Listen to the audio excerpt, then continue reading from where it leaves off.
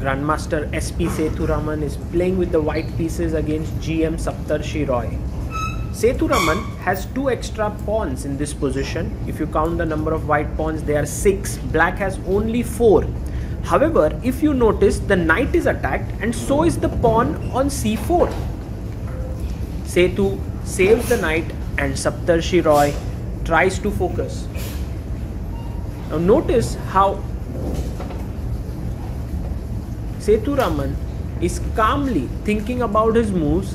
Saptarshi now takes the pawn on c4 and Sethuraman saves his a3 pawn. So he has an outside passed pawn which he can create with a5 and b6.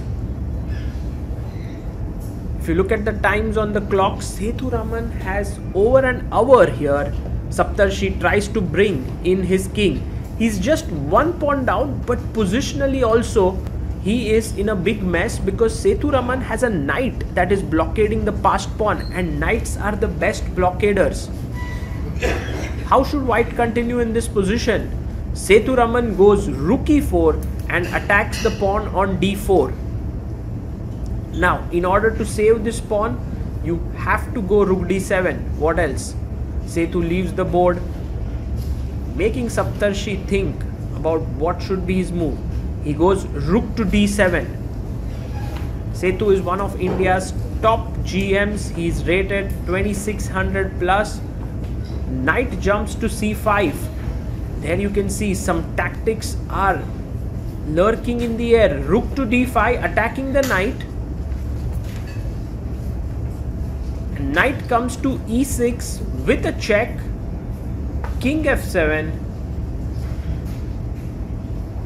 Sethuraman just thinking for his move he can actually take rook takes d4 he can also play knight takes d4 both moves are possible. He takes with the knight. Now he's two pawns up. Saptarshi Roy captures the pawn on h5, reducing the deficit to one pawn and Sethuraman goes knight c6, attacking the knight on c4, also threatening rook e7 check. The a7 pawn is also hanging. All of a sudden, things have escalated and Saptarshi Roy is in big, big trouble here. He resigns the game.